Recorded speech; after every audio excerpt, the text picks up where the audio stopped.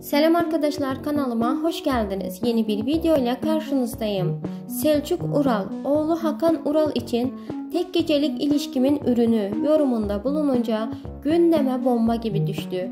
Bu açıklamalar gündemdeyken Survivor yarışmacısı Nagihan Karadere'de bir dönem kendisi hakkında kötü yorum yapan Hakan Ural hakkında bomba bir paylaşım yaptı.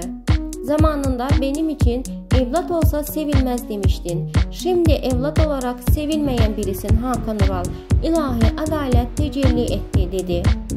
Nagihan Karadere Selçuk Ural'ın Hakan Ural'ın annesiyle tek gecelik birlikte oldum. Yıllarca ona sahip çıktım ama artık görüşmüyoruz sözlerinden sonra Hakan Ural'ı hedef aldı. İlahi adaletin tecelli ettiğini söyleyen Karadere zamanında bana evlat olsa sevilmez demişti. Şimdi evlat olarak kendisi sevilmiyor dedi.